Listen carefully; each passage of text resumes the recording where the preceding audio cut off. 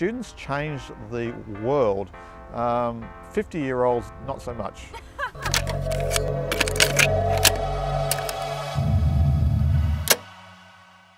I was passionate because uh, I believe strongly that students had something to say, students had a contribution to make, um, and that student control of student affairs was a fundamental under, uh, understanding that society needed to have.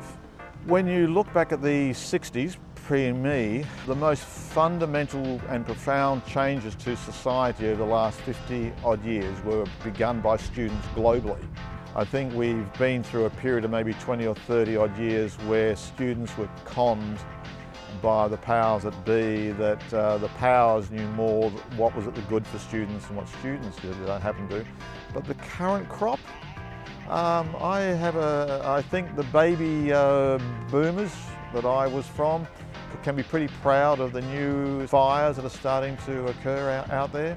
There was a lot of things we did for uh, day-to-day -day services, but I think if you had to say one thing that I was most proud of is the Guild got out there and got involved with students. It wasn't a case we were trying to get students to be involved in the Guild, we had to tell it what the Guild did for students and why student unionism and students um, having uh, a direct say in their education was so important. I mean, your frustration though culminated in 1979 to shutting down the Guild services. You were protesting, I believe, the state government at the time was bringing in further kind of controls over the Guild. So in showing students what they would lose, what on a day-to-day -day basis the services they just took for on a, as a as a, a basic right or it was always going to be there, we decided to shut it and to show students that what life on campus would be without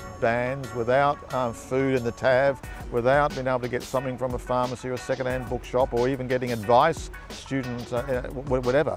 I think it shocked people uh, that we were obviously prepared to uh, actually do, do that but it woke students up. We marched uh, on Parliament, uh, we, we protested on the campus. Um, yeah, uh, I think it, it, was, it was pleasing that we could have incurred the wrath, but we in, instead we incurred the support. It was an era of acceptance of diversity and a need to be in, inclusive, be it from uh, in uh, Indigenous affairs, uh, women's uh, affairs, uh, gay affairs. And it's now 2019. What do you see as being the biggest challenge for students? Isolation. Students need to uh, communicate to each other. The, the, the biggest um, threat um, is acceptance that um, things can't alter, that there's a that the the past has stuffed the future up. Um, you can't um, get rid of us baby boomers and the older generations and turn things over. Um, you know, we, we, there's uh, there is not that fire somehow students have been conned into believing that they're there to study what they're there to is learn about life. And that's the, the biggest threat, I think, to students not embracing life, but embracing a course. And what's your, what's your best advice on reigniting that fire?